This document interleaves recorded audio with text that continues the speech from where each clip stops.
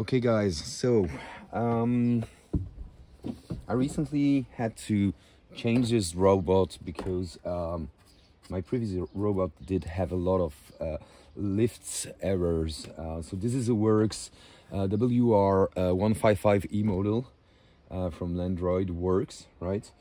Um, today I'm gonna show you how to um, hack one of the sensors which is located in these wheels um, in order to avoid getting all these lift errors which usually uh, leads um, to a total uh, stop of the robots.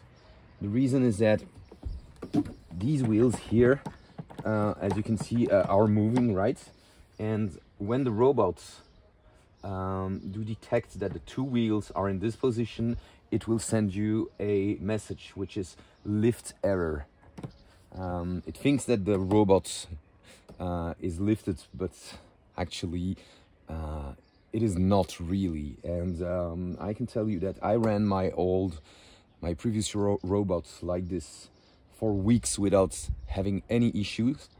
Um, and for all the people who like me actually uh, do have to go back in their garden several times a day uh, to restart the robot again and again and again uh, I think taking 10 minutes to operate that little hack uh, is something useful that you should consider to do. Um, this is obviously touching a security feature, right? So uh, if you are not comfortable uh, or if you do have kids uh, playing in the garden, you would su suspect uh, being able to, you know, take the robot and lift it, uh, then I would definitely tell you not uh, to follow this guide, right? Um, for yeah, obvious security reasons. So let's go. Um, let's see if we do see the robots good enough. It looks like, yeah, it looks okay.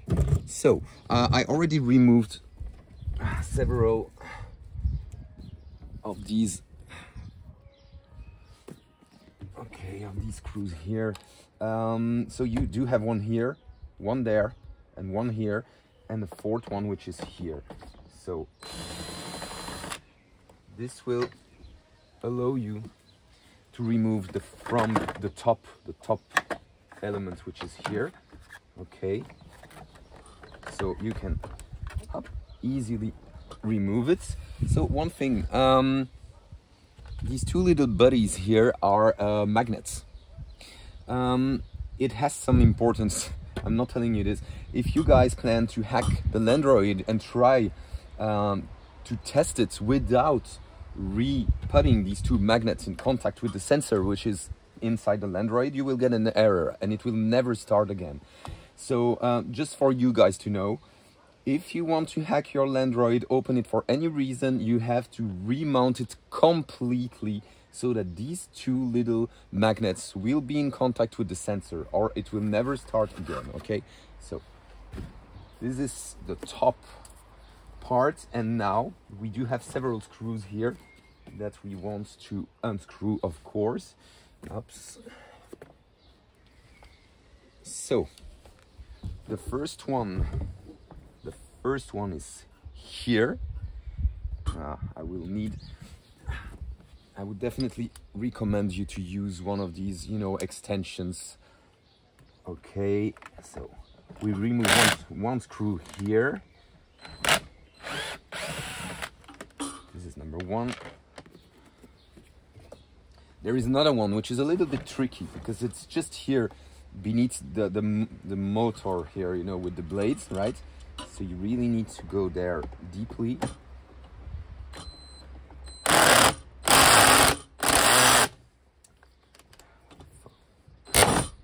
okay does it work that one is really not easy to remove for some reason. Let's see. Okay.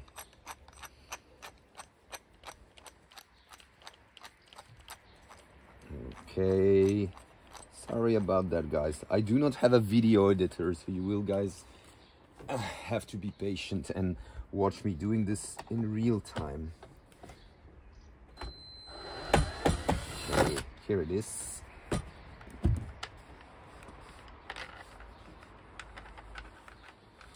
Come on. Yep there's a third one here.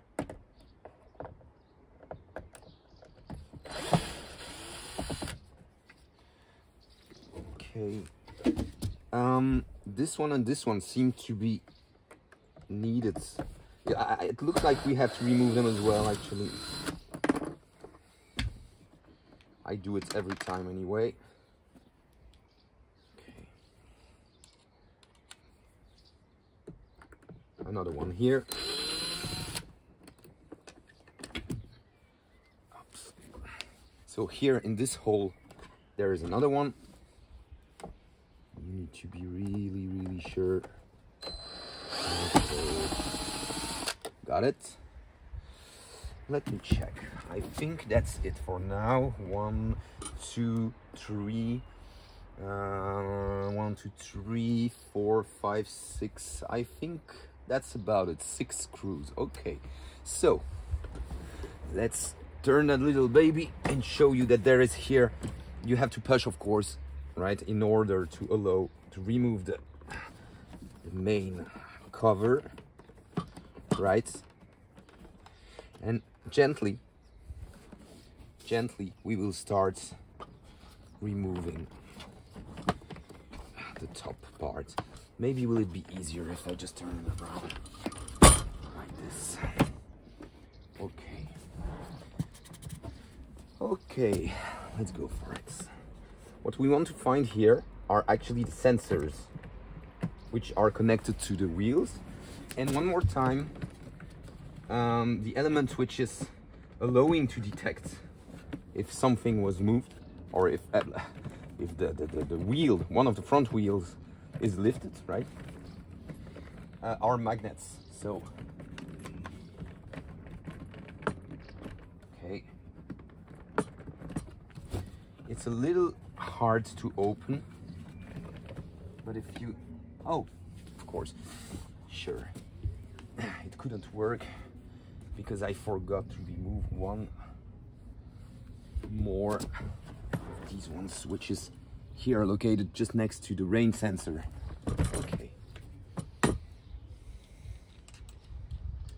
Let's do this.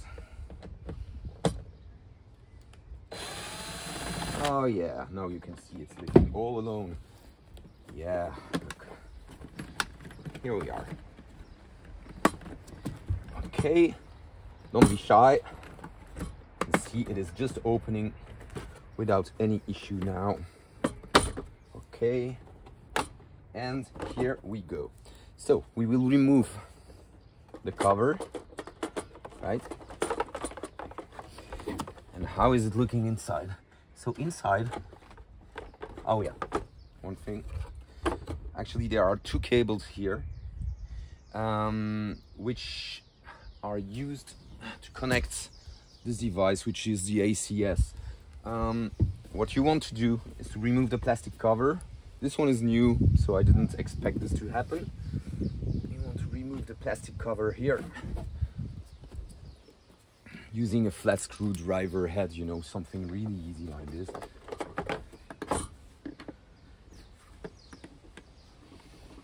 Ah, shit. I do not remember.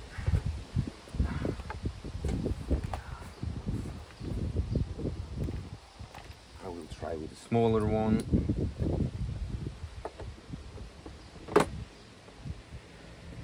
Okay. It starts to. Okay. I do not remember how I removed this. First time I did. Okay. Here, you- here we go. As you can see, these two cables here are actually creating a resistance, right? So you just put them like this, and now you can see it's lifting without any issues. Okay, what do we have in there? So we do have the display. Be careful because there is this little wire here that you don't want to break, right? And so here's the deal. You can leave it like this, right? It's not a problem. I will try to show you how it looks. So, what do we want to do here?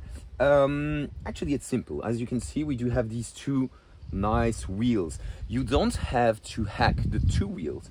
The reason is simple actually. Um, the two wheels need to be lifted to get that error message. So you can just select the one you like the best, left or right. Okay, I will take the left one. Cool, where is my screwdriver head? Here it is. There are three extra screws that you need to unscrew here. One, two, three, and let's go for it. You need to turn it around like this. You turn it like, okay. And it will lift, okay? So I just lifted it. So, you can see that there is this little sensor. It's actually very simple the way it works. Here, you do have a magnet. Okay. Hello, magnets. There we are. Okay, so that little magnet is of course moving with the wheels, okay? And when the magnet is not connected to the sensor anymore, you get the lift issue. So this is why you get the lift error. So for everyone looking at this video that has a little bumpier uh, you know, this is gonna be a problem. So what do we want to do? We want to trick the device to make it think that the magnet is in contact with the sensor all the time. So, as that guy said, if you can't fix it with duct tape, just put some more duct tape, right? And duct tape is my best friend. I'm not joking. So you just take some duct tape. Okay. And with the duct tape here, what you want to do, it's actually pretty easy up. You want to tape these two buddies together right? Best friends for life. Okay. You see, just like this. Of course, you can do it maybe in a most, you know, cosmetical way if you like. I really don't care. I just want this to work. Now the magnet and the sensor are connected. They are married for life. So what do we want to do now? we just want to put this somewhere else. Here let's say right? And we can close. We can close our Landroid again. So where is the plastic? Oh yeah there it is. This you can just put back and then you repeat the same steps right you put it back be careful you guys remember if you have an ACS device wants to put these wires back in that hole, right?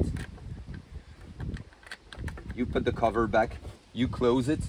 Don't forget the magnets I told you at the beginning of the video, so you need to remount everything. And you can believe me, I had lift errors and my Landroid was stopping every single day, several times a day, which was terrible. Since I did this hack, of course, I'm losing a security feature, but my Landroid did mow for 10 days in a row. So if you want to give it a shot, good luck. And please let me know if it helps because I think this is something uh, Worx should uh, allow his customer, its customer to do. I mean, you know, disable this feature if you have, you know, not the most perfect loan. Okay, well, I hope you enjoyed this video. See you later.